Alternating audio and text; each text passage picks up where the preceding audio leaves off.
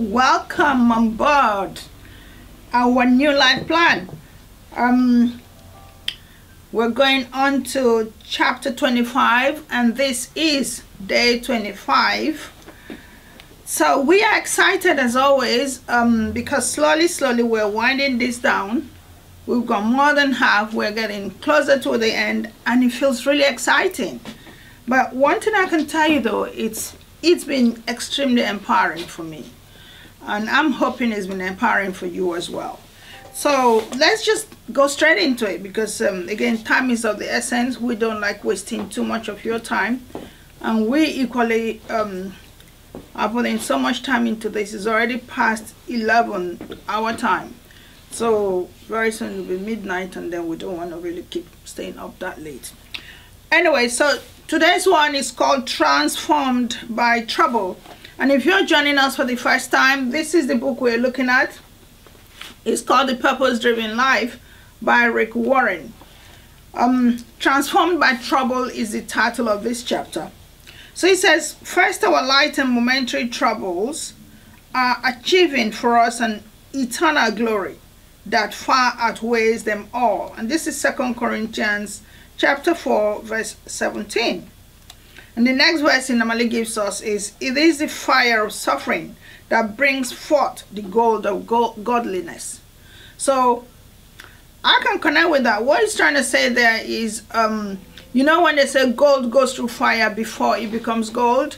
So here he's saying the fire of suffering is when you suffer that you get the gold of godliness. And this was written by someone called Madame Guyon so that's that's the direction we're going today is we are transformed by trouble. And i when i was reading this i felt so excited about it. You are going to be so amazed at what is coming out of this chapter.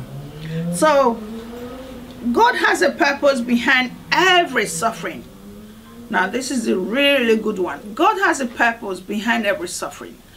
And you remember the reason I decided to read this book? It started from me going through quite a lot of mental stress, um, uh, struggling with my business growing, struggling with my um, my my family life, um, having problems with my husband, uh, and then you know moving to a different location and not having the comfort of the kind of home you're used to.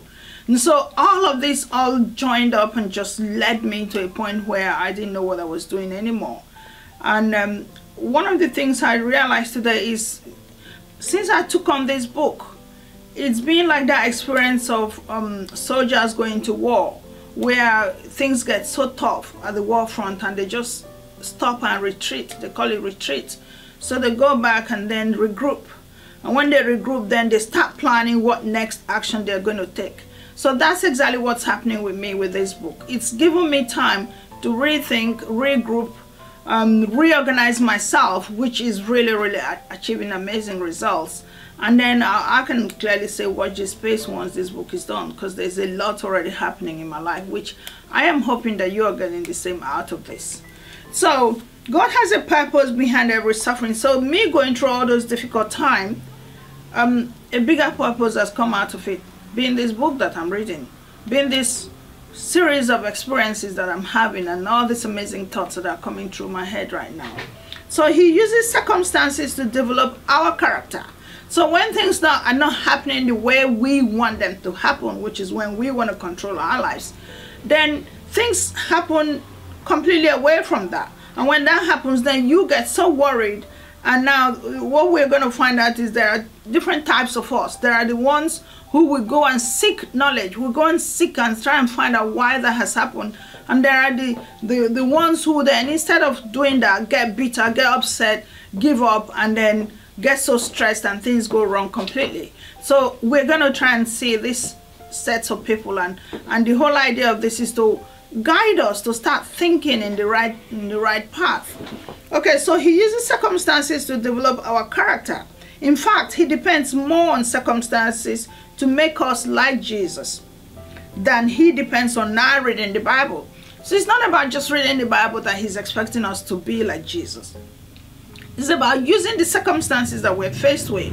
And these circumstances will then help to develop the character that we become. And this is the character that He wants us to have for us to be a bit like Jesus. So the reason is obvious. And we face circumstances 24 hours a day. So this is really immense. And one thing I love about this book so much is the fact that it's so real. If you just think about it a little bit, it's an everyday life that is coming through this book. And that's why I know I tried so many things. I listened to so many tapes and CDs, which I've shown you some of them on the screen. Um, I buy all kinds of personal development book. This is the one book that's really, really pulled it out for me in the bag. It's pulled it so much like I can relate to things as they're happening. It says, in fact, um, he depends more on circumstances to make us like Jesus. And he depends on, our, uh, okay, than he, than he depends on our reading the Bible. So you hear most of us Christians who say to ourselves, oh yeah, i have read the Bible. And some of us will probably read it three, four, five times, read the whole Bible from chapter to chapter. But he's saying it is the way we handle circumstances that makes him understand how we are developing our character like Jesus did or like Jesus's character. And he says the reason is obvious because we face um, circumstances 24 hours a day. So every hour of our day, every minute of our day, every second of our day, something is happening in our lives. And it's those things that are happening in our lives that then begin to, you know, showcase who we become. And it's who we become that he's really interested in. Um, Jesus warned us that we will have problems in the world. And when I hear things like that, I feel really comforted because lots of us think, which one of the earlier sub, uh, chapters, he did remind us that Anybody that thinks that they haven't got problems, they're lying. And it's so true. You see some friends, you see some distant people, and you just say far away, you know, like I was saying to my daughter the other day, you think the grass is greener on the other side. And uh, there was a little quote that I read somewhere. It says, no, the grass is not greener. It's either they water that grass every day or they are using astroturf. And astroturf is this kind of thing that looks like grass, but it's always green. So if they've got that in their garden, you think, oh yeah, their grass is green all the time, which is their life is perfect and yours is not. But no, either they are covering, they're covering their problems and not letting anyone know, or they are managing it somehow without you having to know. So we face circumstances every day, and Jesus has clearly warned us that we're not going to have a trouble-free life, that there will be problems in our lives. So now this is why I love this chapter so much. It's really bringing us to understand why do we have problems? And if there are problems, how do we handle them? So no one is immune. No one is immune to pain or insulated from suffering. And no one gets to skate through life problem free. None of us. You know when you immune somebody, you give them an injection and they don't feel ill.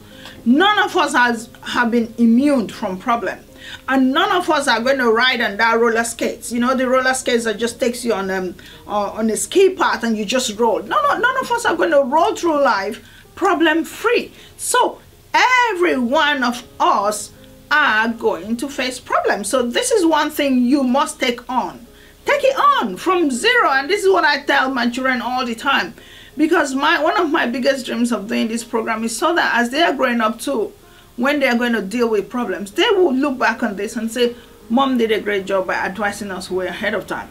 We are all going to deal with problems.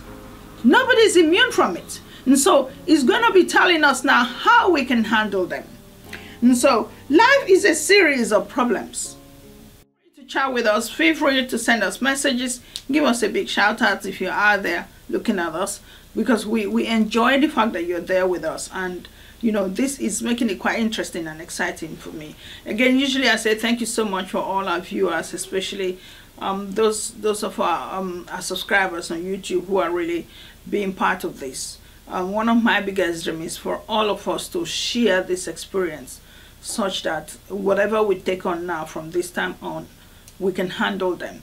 Because um, I had I had a workshop the other day where I had to give a talk. And everybody's worried about how to get started into the um, social media world and how what should they be expecting and how do they handle them And one of the biggest thing that came out is if you're looking at this thing and thinking um, you're going to be this darling of everybody where nobody was going to hate you, nobody's going to give you negative comments, then you're making a big mistake. You're going to have to deal with that because that's just the way life is. And so all the all our subscribers who've been there with us and supporting us and, and we just want to share a part of us with you. Something that anything that helps us, we want to help you with it. And that's why this whole program is being uh, documented for you so that whenever you're going through those difficult times, which we've been told now that it is going to happen whether we like it or not, you can always look back and say, yes, this lady was ahead of time for us. I want to be ahead of time for you. And, and a big thank you to you. That's why we're doing this. So that you are there with us and we can skate whatever these problems are together. Okay, so he says no one is immune to pain or insulated from suffering. And no one can, can get to skate through life problem free. Life is a series of problems. Every time you solve one, another one is waiting to take its place. Now, isn't that interesting? Every time we solve one problem, another one is waiting to take its place. So this is where, again, lots of us who sit there and think that, oh yeah, but life is meant to be easy.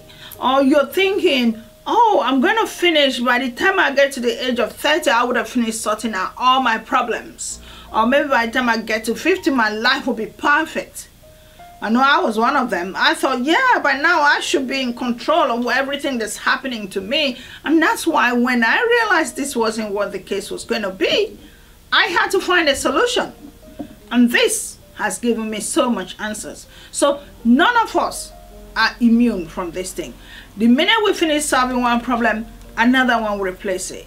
I know I read a book somewhere where the, the book did say that um, um, when you when you demand something, when you want something, you know, like when you achieved one and you then you want another, that just that's just the way we grow.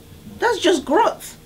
And so we, we think um, then it, it, they call it desire. It says, no, we should continue to have these desires because the desires is what actually gets the world going the more desires you have, the more you expand, the more things grow, the more we bring new things into the world.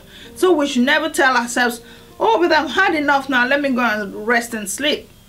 But now we're not talking about you just dreaming of something and saying, why don't I get another, why don't I get another? Let's say you have one car, I want another car, or um, you have a house, I want another house. That's not where we are. Where we are now is problems will always come, whether we like it or not. And the minute you finish solving one, another one will take its place. That's what this book is telling us. So not all of them are big though. Not all the problems you deal with are big. But all are significant in God's growth process for you. So we're going to find out now that why why are there problems? So he says all of the problems we encounter and experience are significant in God's growth pro, um, um, process for us. So God has it in place so that we can grow to the next stage. So Peter assures us that problems are normal. Peter is telling us that problems are normal. And he was saying, don't be bewildered or surprised when you go through the fiery trials ahead. For this is no strange, unusual thing that is going to happen to you. So whenever we're going through problems, it is not strange we shouldn't be bewildered. We shouldn't be like, oh my goodness, you know, like surprised, like shocked, like, whoa, what is this? No, we shouldn't be like that because this is not strange. It is only normal that these things are happening. So God uses problems to draw us closer to Himself. And I thought that was really interesting. God uses problems to draw us closer to Himself. The Bible says, The Lord is close to the brokenhearted the Lord is close to the brokenhearted. He rescues those who are crushed in spirit. And so whenever things are really down, which I know how down I was before I took on this book, I felt so low. You know, like deep in you, you feel so empty, like a part of you has, like a hole has been put in your heart. And there's so many people out there who are going through that. That's the people they call low in spirit. So God stands there for those kind of people. He says he will, he, he, um, he is close to the brokenhearted when your heart feels lost and when your spirit feels crushed. He is there for you. And so, our most profound and intimate experience of worship will likely be our darkest days. So, when these things are really, really down and we are just completely out of it, he says that's when we bring out our um, our most intimate experience of worship. So, when we're really down, that's when we feel really, really close to God. That's when we ask questions, very intimate questions. Now, where are you? Why are you letting me go through this? And you know, all the usual things that happen to us. Remember the story I told about a lady who um, just, uh, she was a celebrity here in the UK and she never really believed in God. And then they, they discovered she had cancer. I think cancer of the uterus or can't remember, cervical cancer. And she then openly now said she wanted her children to be baptized in church.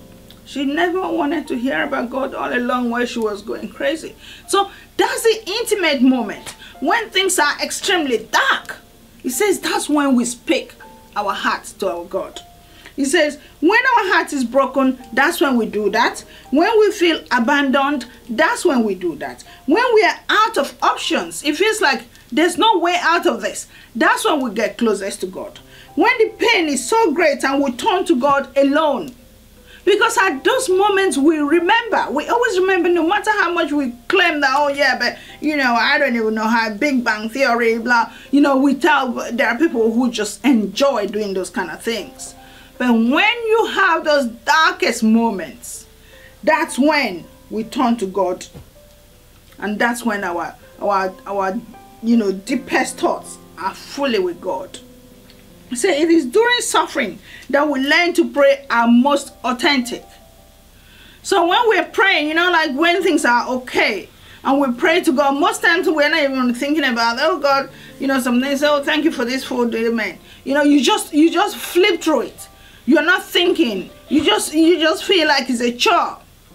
But when things are really down, your prayers are real. And so you see why it is necessary that we have problems from time to time because those problems draw us closer to God. Just let us go crazy on this earth and think that, oh yeah, there's nothing, I have no worries. No, there are times you won't have worry and this is where we're going to find the two types of people. There are the ones who, instead of getting stronger and getting closer to God, will go deeper and fall deep into the pit. And there are those who will now say, yes, there is God. Please pull me out of this pit. So when we are in pain, we don't have the energy for superficial prayers. So when we're in pain, there's no energy for us to just tell tales. So, you know what, I just wanted to say this to you, Father, but you know, I really can't be bothered. No, now you're in pain, your prayer is directed. Your prayer is clear. Your prayer is focused. Your needs are extremely clear. And so it says there's a man called Joni Eareckson Tada, and he notes when life is rosy, we may slide by with knowing about Jesus, with imitating him and quoting him and speaking of him. But only in suffering will we know Jesus. It's only when we're really in suffering that we know him. But when everything is rosy, we just slide by him. We learn things about God in suffering that we can't learn any other way. So when we're really in pain, when things are really down, you know, brokenhearted, um, low in spirit, all kinds of things have pulled us down. That's when we really, really, really learn about God. Because there's no other way. There's no other way. You see, God could have kept Joseph out of jail. You remember the story of Joseph when um, his brother sold him, they, they, they dropped him in the pit, and then he got picked up and taken to Egypt, and he ended up in prison, and then eventually he had a dream, and then um, uh, Pharaoh brought him out, and he became the governor or second in command. He was some, he becomes this huge person there. He says, God could have left him in jail, but no, he could have kept Daniel out of the lion's den God has the power. He could have kept Jeremiah from being tossed into um, a slimy pit. He could have kept Paul from shipwrecked three times and kept the three Hebrews, um, Hebrew young men from being thrown into the blazing furnace. But no, he didn't. So here he's just giving examples of where people have always been in their lowest times. I think he probably forgot to even add Job. There's so many stories in the Bible where people have been at their lowest and God comes to rescue. So he let those problems happen, and every one of those persons were drawn closer to God as a result. So, do you get the message here? Each time this thing happens and you run to God and He answers you and deals with this issue, what happens? You are closer. Because then you understand, you remember that, you know what? If it wasn't God who pulled me out, look at the miracle that happened. If it wasn't for Him, what, where would I be? And then you have no choice but to be closer to God. And so problems force us to look to God and depend on Him instead of ourselves. So when everything is rosy, we think we are in control. We think we have the power and we don't want to talk to anybody. We don't want to hear anybody talk because in our head we know what we're doing. But when the problem comes, that's when we run to God. And obviously when God stops it, we stay closer. That doesn't mean that everybody does that. Of course, there are the ones who, after God's answered it and they're out of it, then they forget again. Paul testifies to this. We felt we were doomed to die and saw how powerless we were to help ourselves. But that was good. For then we put everything into the hands of God, who alone can save us. So when Paul had problems, and he said, you know, he actually thought he was doomed to die, and he felt so powerless. But then what they then did was they just handed over everything to God and said, You should take care of this. And when he answered it, they knew that there was no one else that could save them. It had to be God. And so he said, You'll never know that God is all you need until God is all you've got. And I felt this was such a great statement. You will never know that God is all you need until you know that God is all you've got. So when you've been thrown into that deep end, when there's no other source, there's no other hope anywhere else, generally we know that there's no one else that could deal with our issues. And then it's only God. And that's when we realize that He's everything that we've got. And so regardless of the cause, none of your problems could happen without God's permission. So whatever it is we're dealing with, we will really not be dealing with it without God knowing that it's going to happen. And now He wants to know how we can cope with it. So everything that happens to a child of God is Father filtered, and He intends to use it for good, even when Satan and others mean it for bad. So whenever things happen to us, God has filtered it. He knows it's going to happen. I mean, in one of the chapters, we were told clearly from the day we, before we even um, uh, uh, in our mother's womb, God already has written our life out. He knows our very beginning to the end. He has the answers to everything that we are. And so, before these problems happen, He knows about it. And so He's filtered it. He's watching to see how we are going to react to it. But it's always for His good. It's always to eventually come out for good. And I know that most of us, whenever we're going through these problems, we always get so angry, we query, we are upset, we're wondering where is God when this is happening to me. But it says it's always for good. He's always going to turn that problem around to create good. And because God is sovereign, sovereignly in control, accidents are just incidents in God's good plans for us. So because God is in control, accidents, things that could have gone really crazy, are just an incident for God. For God's good plans for us. So because every day of our life was written on God's calendar before we were born, hmm, he just mentioned that, everything that happens to us has spiritual significance. So because it's already been written, everything that happens to us has a spiritual significance. So there's a reason behind things happening. And it's not just a reason, but there's a spiritual reason for it. He said, We know that God causes everything to work together for good. For good, for the good of those who love God and are called according to his purpose for them. For God knew his people in advance, and he chose them to become like his son. And this is a good passage from Romans chapter 8, verse 28 to 29. He explains, We know that God causes everything to work together for the good of those who love God and are called according to his purpose for them. For God knew his people in advance and he chose them to become like his son. So God knows who you are in advance and he has chosen you. So for everyone taking time to sit down and watch this book, this program that we're reading through, and the time we're all spending here looking at this, God has already chosen you to listen to this.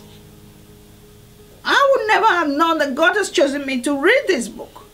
So for everything we do, there is a spiritual significance. So yes, I would have been going, I mean, further down this comes up. I've been going through a really terrible time and things haven't been working for me the way I was hoping for. And I felt so bad. And I chose this book to pick and read. And that's how the spiritual significance comes out of it. Because my terrible time has turned out to have an amazing spiritual significance. I'm reading a book that's here helping as many people as possibly can. And so we need to understand this passage very clearly. And what he's trying to do now is he's going to break it down one piece at a time. So he does not say God causes everything to work out the way I want it to. He, do, he does not say God causes everything to work out to have a happy ending on earth. So these are the things he's reminding. God did not say, I'm going to make everybody have such an amazing, happy ending. No. He didn't say everything is going to work out the way we want it. No, it's not about us. We live in a fallen, in a fallen world. And wow, that is something. Because you remember the story of Genesis where Adam and Eve fell out of glory with God. So that's what created this world to be fallen. And that's why there will always be pain. This is why there will always be worries and you know sadness and things that are out of our control so but that that's not the end of it only in heaven is everything done perfectly the way god intends so here on earth because it's a fallen world things will not always be perfect but it's only in heaven that things are going to be the way god wants them to be and this is why we are told to pray remember the, the, the lord's prayer he says, Thy will be done on earth as it is in heaven. That's what that passage says. Thy will be done on earth as it is in heaven. So he's just trying to remind us that yes, earth wasn't meant to be perfect. And it's not perfect. But the only place that's perfect is in heaven. And that's what we're told in that in that um in that prayer verse. that will be done as it is in heaven. So it is perfect in heaven. So we're hoping he can bring it here on earth as well. And so to fully understand Romans 8.28, we must consider it phrase by phrase.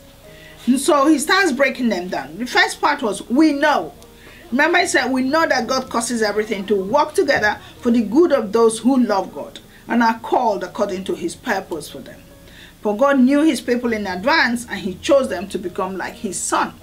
So we're going to break this passage into little bits. And the first one we're looking at now is we know. So he said we know. Our hope is diffi in difficult times is not based on positive thinking. So when things are difficult, it's not about positive thinking. Oh yeah, you know what? I'll just think so positively. I've been through all of that. Remember I did NLP, where all we do is talk positively. Make sure that you talk positively, you attract the right things and everything's happening perfectly. I did all of that and my heart was still in trouble, in turmoil. I couldn't find, I still was searching. You remember when I keep talking about that book, Man Search for Meaning? That's how it's always been for me. I still want to know why things are happening the way they're happening to me. I was, I was completely confused. In as much as I knew all these amazing theories of NLP and motivation and personal development and attracting the right people and the right friends and all the things that you can imagine. He says that this is not about that. This is not about, you know, positive thinking. This is not about wishful thinking or natural optimism. Because that's what we all do when we're in that, in that frame of mind. We are all these amazing experts. No, the work of God is not based on that. It is a certainty based on the truths that God is in complete control of our universe and that He loves us. So it's about God and His message through us and the fact that He loves us. And so many places have confirmed that to us in the in this book. He says, and the next one was that God causes. Remember the first one was we know. And it's not about positively thinking or wishful thinking or optimism. Now the next one is that that God causes. There's a grand designer and designer design behind everything. There's a grand design behind everything. Your life is not a result of random chance, fate, or luck. That's what he's telling us. Our life is not by fate, it's not by some luck that we're just here. There's a master plan. History is his story. So, history that we're dealing with God is God's story, his story. God is pulling the strings. So whenever things are happening in our lives and we are beginning to query and wondering why is it, God is pulling the strings. He knows why these things are happening. We make mistakes, but God never does. Humans that we are, we are prone to making mistakes all the time. But God never makes mistakes. God cannot make a mistake because He is God. So the next stage was everything. God's plan for your life involves all that happens to you. God's plan for all of us involves everything that happens to us. And so even when I'm having all these issues I've been dealing with, that's God's plans for me. And whatever issues you are dealing with at the moment, God has that plan for you.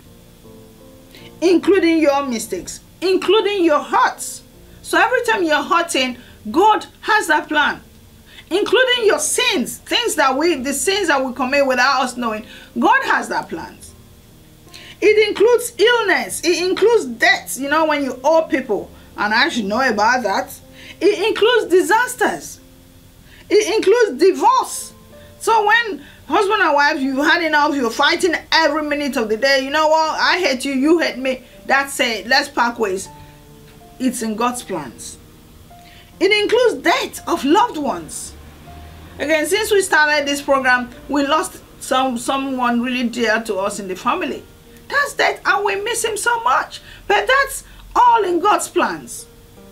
God can bring good out of the worst evil, he says. He did this at Calvary. And we all know the story. So Jesus was now posed, um, you know, taunted and spat at and beaten and with nails in his grand, uh, hands and, and feet and he all came out for good. You know, so to work together, not separately or independently. The events in your life work together in God's plans. So everything that we're going through is happening together for God's plans. They are not isolated acts, but interdependent parts of the process to make you like Jesus Christ. So all these things that we're experiencing are not isolated. It's just aimed at making us gain that character that Jesus had. So bake a cake, we must use flour, we must use salt, we must use raw eggs, we must use sugar, we must use oil. Eating the ingredients individually, they are tasteless and disgusting, or distasteful, he said. But bake them together and they become delicious. So that's what this is all about. So when we give God all our distasteful, unpleasant experiences, He blends them bakes them together and they turn out for good. So individual experiences, let's say the sugar, let's say the salt, let's say the flour, let's say the oil. Individually, you cannot just take oil and start drinking, or take flour and start chewing, or take salt and just licking, or sugar. But when they put it all together, it creates an amazing thing called cake extremely delicious. So every problem we're dealing with individually, they're nasty and they hurt us and want to cry, want to give up, want to go crazy. But when God brings them all together, at the end, it creates something good. That's what he's trying to remind us here. And so, when we give God all our distasteful, unpleasant experiences, he blends them together and creates something good out of it. So we're going to the next stage. It says, for the good. This does not say that everything in life is good. Remember, we live in a fallen world. Much of what happens in our life is evil and bad, but specializes in bringing good out of it. So things that are happening to us most times are bad, really bad. But in the end, they are coming for good. And God's purpose is greater than our problems, than our pains, than even our sin. It is about building our character. That's what God's purpose in our life is all about. And I and I had a moment of reflection after reading this, and I thought, oh my goodness. We're looking at character building. And we, we you know, I've mentioned this a few times. It's not about us. Part of there's a chapter we read and it says our life is not about us. And I think the sooner we get that message, the better our life will begin to to start, you know, pan out. It's about the mission, it's about the message that He sent us through. And you know, whenever I have a message to share, I come out and I share it. Because I know that message did not just pop in my head. There's a reason that message came. So that's what it is. It's about us sharing, and, you know, delivering the mission that He sent us for. And so the reason for our life is not just come here and have fun. So, of those who love God and are called, this promise is only for God's children. It is not for everyone. So, again, this is where we need to start looking now. So we've understood now that the world is not the greatest there is, that things, bad things are meant to happen, and all kinds of things are, are, are going on in the world. We live in a fallen world. But it is down to us now to choose where do we want to belong? Do we want to just hang in there and deal with the pain and not know where to run to when there's a desperate time or crisis? Or do we know now that there's a place to go, which is when everything else fails, we know that there is God? I mean, there's a way he put it. He put it here very nicely, which I, I think I read that earlier. You will never know that God is all you need until God is all you've got. So this is where we need to start thinking as people. He said, all things work for bad for those living in opposition to God and insist on having their way. Remember we said there are two there are two types of us. The ones who when things are wrong things are bad we run we know where to go. There's nowhere else to go but to god. And there are those who don't want to hear it. I want to take control of this. It's my life. This is where we get it all wrong. The life we have is not ours and this is why we come and go constantly if it was our life people with lots of money will buy their time here and will never go anywhere they will be here because somehow in our head as human, we think this is all that is great. We, we, we don't know what the next phase is. But so while we're here, naturally, lots of people think this is the perfect thing to, to deal with. And so these two choices of who we are, the ones that when things are down, we run to God. And then the ones who say, don't tell me about any God. I don't want to hear it. I am going to take control of this situation. You see, all things work for bad for those living in opposition of God and insist on having things their own way.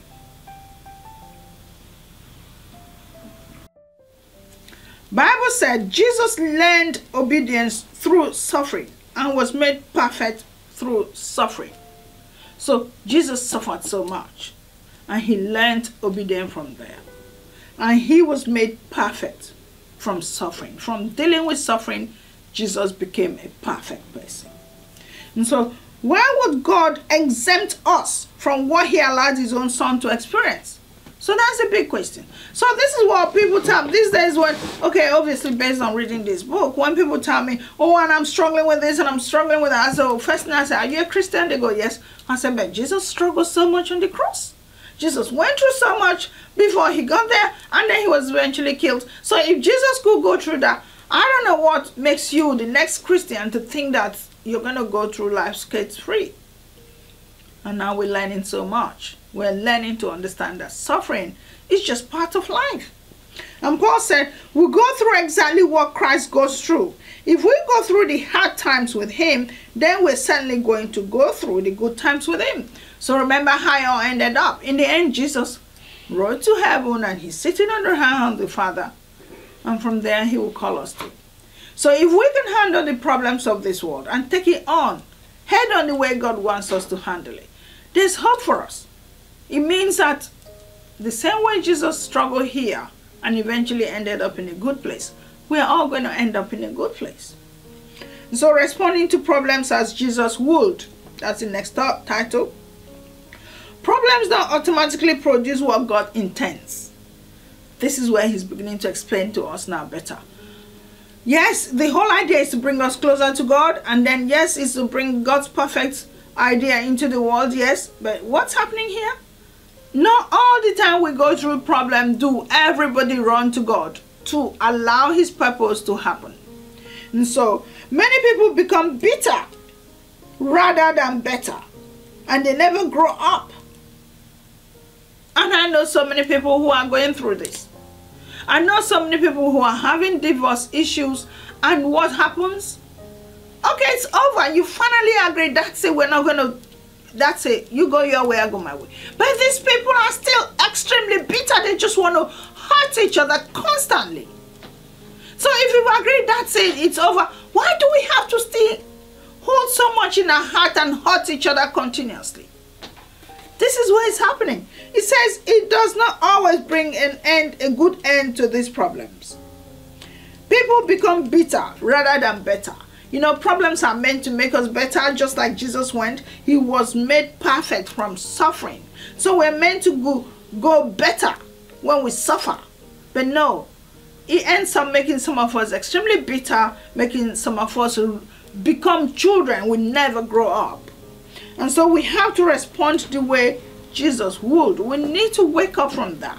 We need to realize that it is not by reacting and becoming bitter that these problems came into our life.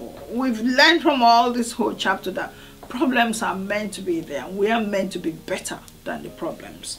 So remember that God's plan is good. So whenever things happen, God has a better plan for it. Remember the case of the cake, flour, salt, sugar, and how he puts it all together and becomes amazing cake. So that's how each of our problems will eventually be put together to give us a better home. So God knows what is best for us and has our best interest at heart. God told Jeremiah, the plans I have for you are plans to prosper you and not to harm you. They are plans to give you hope and plans to give you a future. So that's the plan God has for us.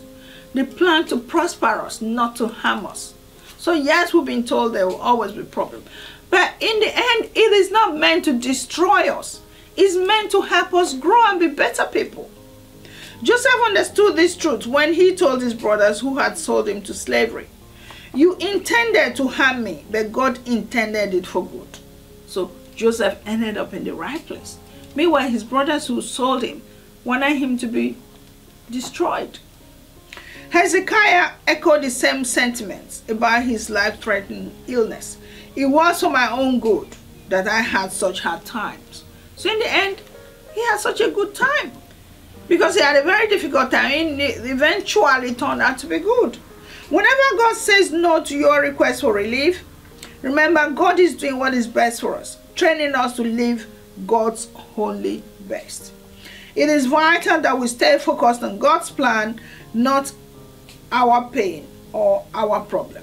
So we should stay focused on God's plan, not focused on our pain and our problem. We should keep asking God, what is coming out of this? What do you want to make out of this thing that you're pulling me through?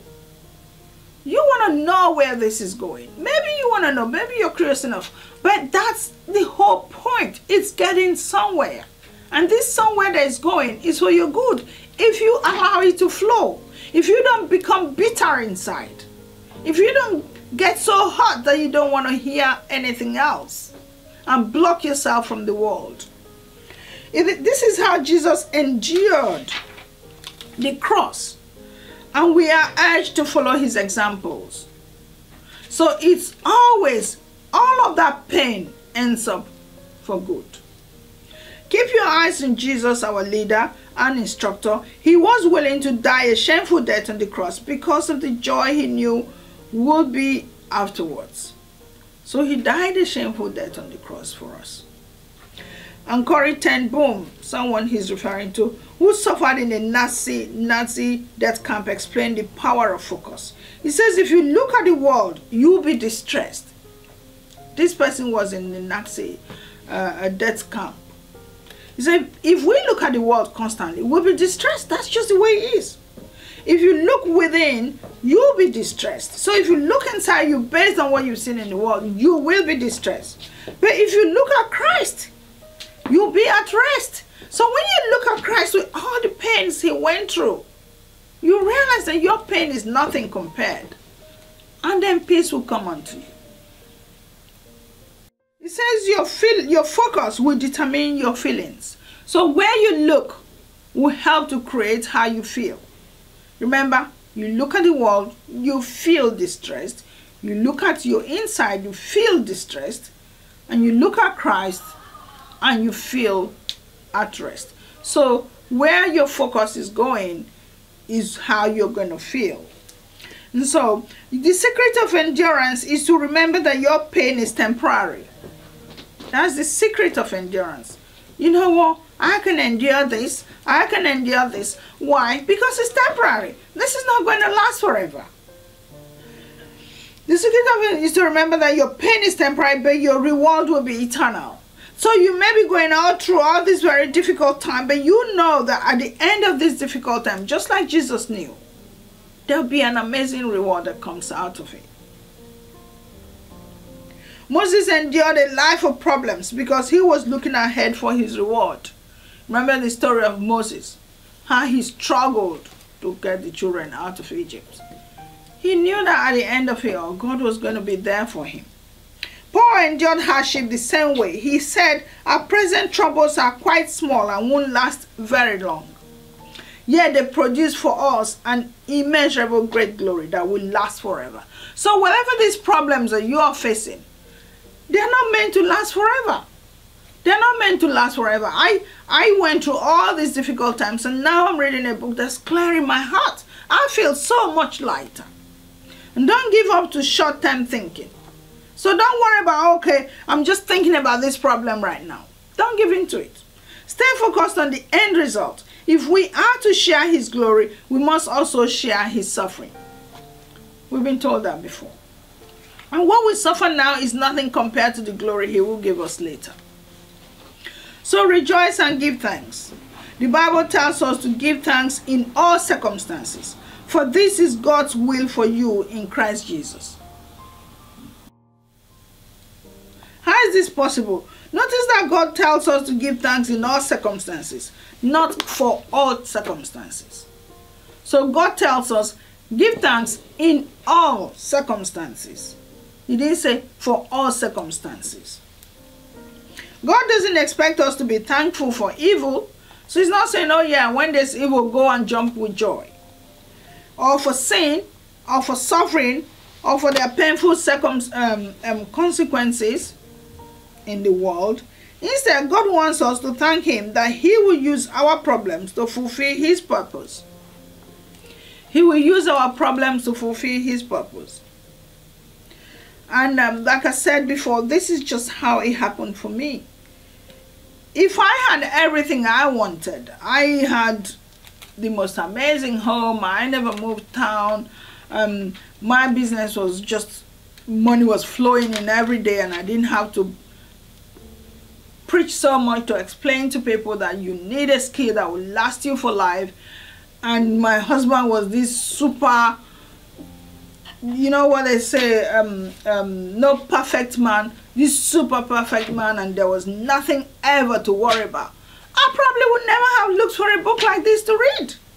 I would never be sitting in front of you here now and chatting with you about life. And so he is saying to us god wants us to thank him that he will use our problems to fulfill his purposes. So the problems i've encountered all the issues i've dealt with He's not brought me here where I'm reading this book to understand life more. And you see how everything works for good. I will not be sitting up, um, setting up a book club, which I intend to do, because once this is all over, now this has given me an amazing experience. I want, I, I would like to share more books, so many books that I have. I like to share it with people who want to listen. Because I know people struggle to pick up books to read. And even when they do, they struggle with the meaning or the understanding of them. And some people don't even want to pick up five dollars or five pounds to go and buy a book. That's too much money to spend. So I am happy to, just like we're doing now, sit down and read books to you. And will not be understanding life the way we now do. Indeed, um, in our circumstance, we have to give him thanks. The Lord may be too heavy to carry, but if you call on him, he will open your eyes and show you the right paths. There is really no need to being bitter and broken when things go against your wishes in life. And that's what's happening to most of us. We just we just store it up and store it up and store it and there are there are those who don't even say anything to anybody. And the next thing they're falling into depression. They don't want to share it at all because they think it's only happening to them. But it's happening to everybody. My mom struggled with polygamous uh, uh, uh, marriage and in the end died from it. My sister struggled with a very bad marriage as well. And so I am not about to go through the same experience in life. And so when I started having problems in marriage, I had to find a way to deal with it. The same thing I wish for everyone out there. Overcome whatever circumstances you're struggling with by seeking God first. Because when I did speak to God, obviously, every time I struggle with anything, there's no other place I go than to talk to God. Because um, I don't have brothers at all right now. My brothers are, all late. And so, um, not naturally, people go, oh, then I ran to my brother and I told him how I felt. And most of my sisters, they never really understand what I experience or, you know, like if I'm trying to explain how I feel about something, they see another side of it. And so I tend to just, my answers come from books. And I happen to have a husband who really doesn't understand the way I reason. And so most times we don't share our thoughts together. And so when I have issues, I run to a book. And so if you are struggling with anything, this is how you deal with it. Remember somewhere they said loneliness is one of the things you're going to deal with in life. You're going to deal with criticisms. And you're going to deal with people, you know, throwing things at you and calling you names and, you know, all the things that rejection, stress, all these things are just parts of life. But it's not for you to be bitter and sad. It's for you to find solutions. It's for you to find a way out. And when you do, where do you go? You go to God. And God opens your eyes. and gives you answers. And I would thank him so much for giving me this answer of this book. Because like I said, so many things are coming out behind the back of this. And so the Bible says, rejoice in the Lord always. He doesn't say rejoice over your pain. That is masochism. You rejoice in the Lord no matter what is happening. You can rejoice in God's love, in God's care, in God's wisdom, in God's power, and in God's faithfulness. Because there's always an answer. Jesus said, Be full of joy at that time because you have a great reward waiting for you in heaven. We can also rejoice in knowing that God is going through the pain with us. So, whatever the pain you're experiencing, God is going through it with you. Um, we do not serve a distant and detached God who spouts encouraging cliches safely from the sideline. So he doesn't just sit in the far distance and say, oh, don't worry about it. Um, just do this and just do that. He actually speaks through us. He walks through us. And I know that one for a fact. Because I get answers to, to, you know, to problems. The minute I speak to God, a voice answers me. And that's why I believe wholeheartedly in what I'm reading and what I'm chatting with you about. He enters our suffering Jesus did it in the incarnation, and His Spirit does it in us right now. Jesus is with us. God will never leave us on our own. That's one thing we really need to know. If we come to Him.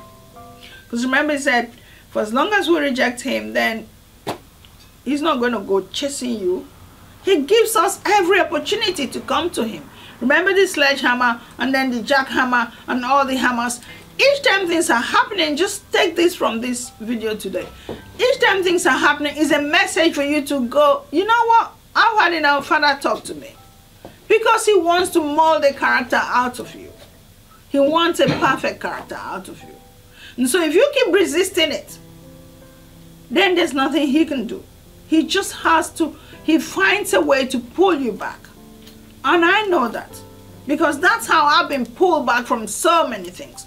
Before I got into this role of working with, you know, hair and all that, I was in telecoms. I've done banking, I've done legal, I've done different things and it was okay.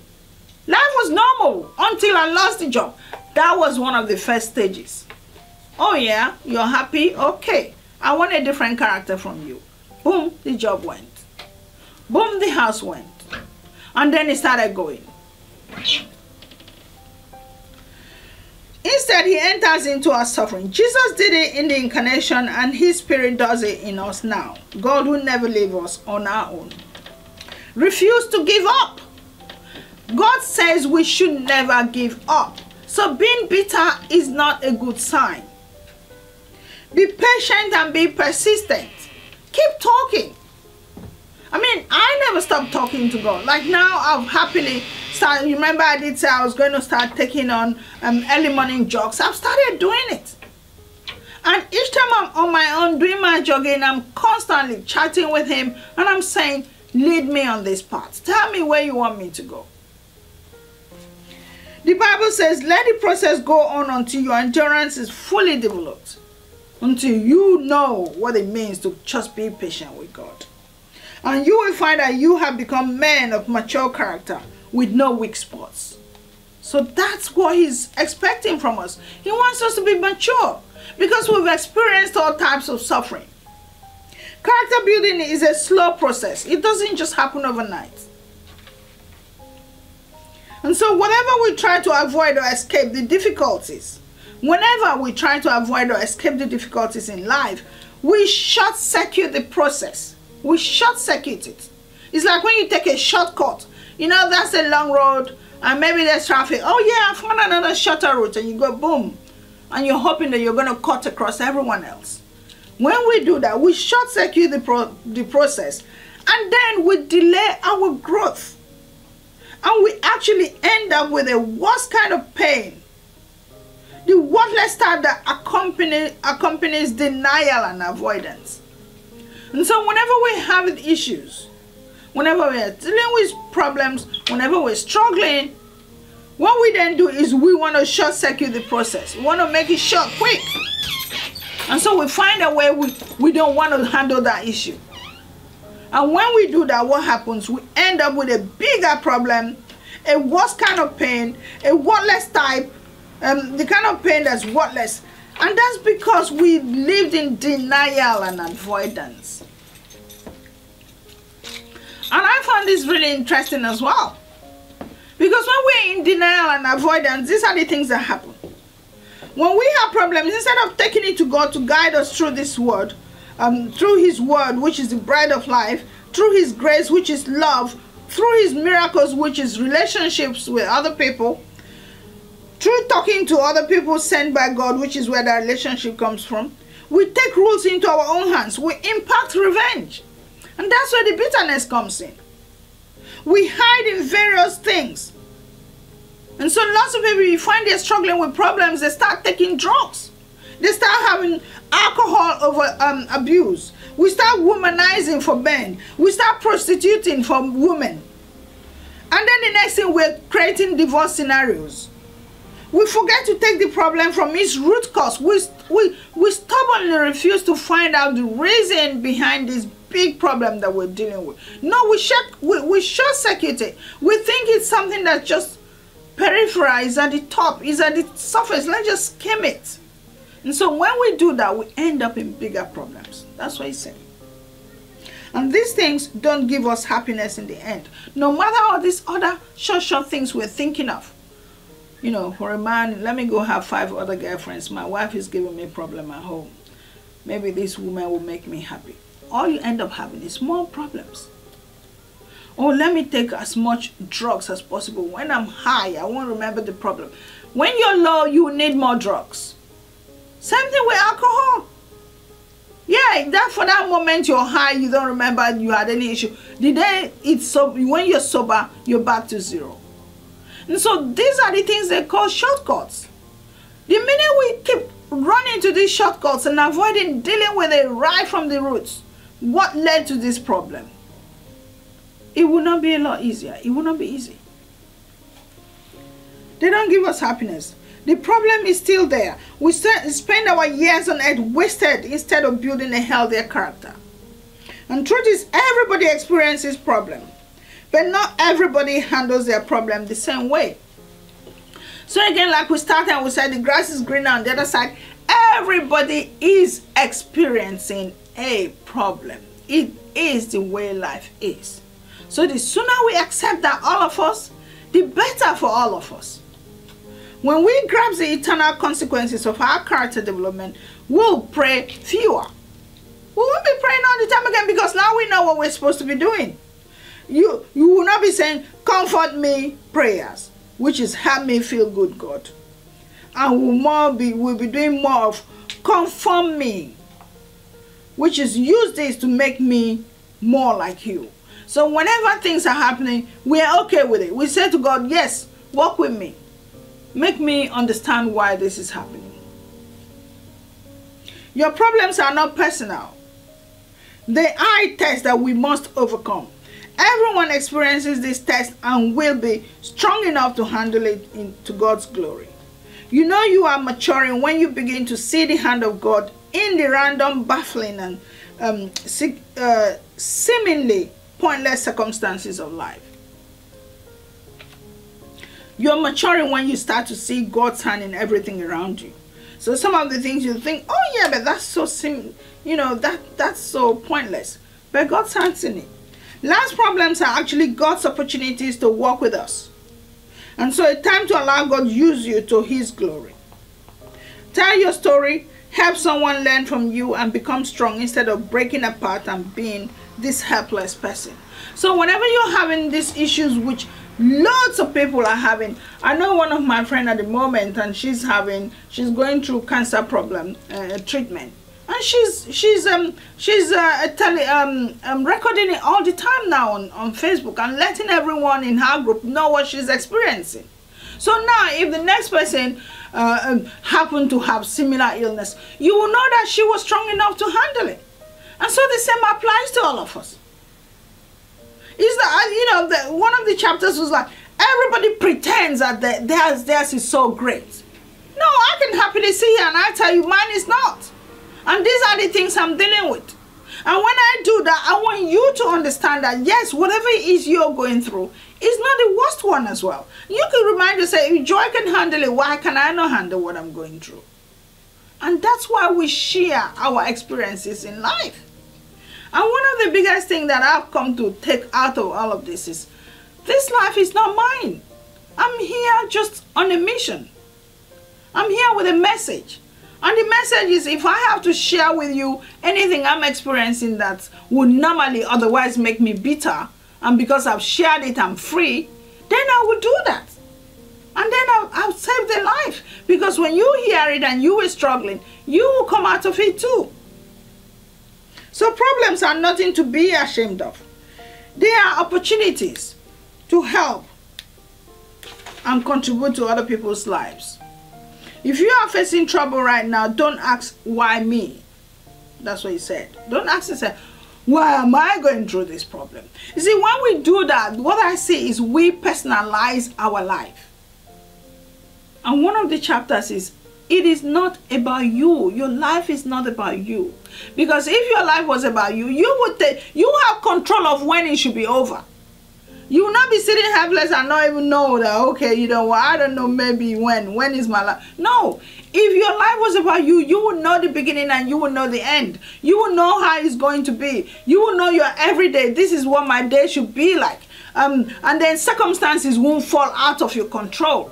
But no, it does fall out of control. We don't know what's happening. You know, for a woman, for instance, when you get pregnant, you don't know what child you're going to have. Until you go to a hospital and say, okay, could you scan and tell me what sex my baby is going to be? God took everything into the future away from us because we're not meant to know. That, that should tell us that we have no control over who we are. And that's why we should not personalize our life. Our life is not about us. And so when we have problem also, it is not about us. These problems are, are meant to help us build who we are. So instead of instead of ask, uh, what do you want me to? Instead ask, no, the, what he was saying was, if you are facing trouble right now, don't ask, why me? Instead, ask, what do you want me to learn from this? So whenever you're having any issues, what you should be asking God, what message is in this problem? What am I supposed to be learning out of it? Then trust God and keep on doing what is right. Keep doing the right thing. So again, a good example is what I've been through. I've asked, what am I supposed to be picking out of this? And then the next thing I'm reading this book. So I keep reading it. That's why I'm committed to the 40 days. You need to stick it out, staying with God. Staying with God's plan so you'll be there for the promised completion. So we're going to stick out this 40 days program by God's grace. Don't give up, grow up. That's a big message. We should not give up. We should rather grow up. So learn from your circumstances. Educate other people who are ignorant about it. And create a stronger, better society. Your problem is your power. This is because you will stay strong and overcome it. You then become stronger. You create a stronger character from the problem that you experience. And so this this is some of the quotes that I remembered looking at this. It says, when the going gets tough, only the tough get going. So that tells you that you're meant to be tough. You're meant to overcome this problem. Because the problem is getting tough. Only tough people overcome it. And so when you're dropped in the sea, generally, we either sink or swim. And so when you swim, that means you've overcome the problem. But when you sink, you've, you've, died, you've died with the problem. You become depressed, you become bitter, you become sad, you don't want to wake up, you don't want to talk to people. That's what happens when we allow problems to overpower us. So, um, here we are. I think we've come to the end of this chapter. But before we go, as usual, we just read um, the usual questions. So first it says, consider this. There is a purpose behind every problem. And that was the first line we read. And then the question was, what problem in my life has caused the greatest growth for me? So that's what he's asking you. What problem, what did you experience that has actually catapulted you to the next stages of life? And I think for me, this whole experience has actually helped me to grow. And meditation, and we know that in all things God works for the good of those who love him, who have been called according to his purpose. And that's Romans chapter 8, verse 28. So thank you so much for being part of this program. Thank you for listening to this whole chapter. It was long, but we knew it was going to be. And we look forward to seeing you in the next chapter. God bless you abundantly.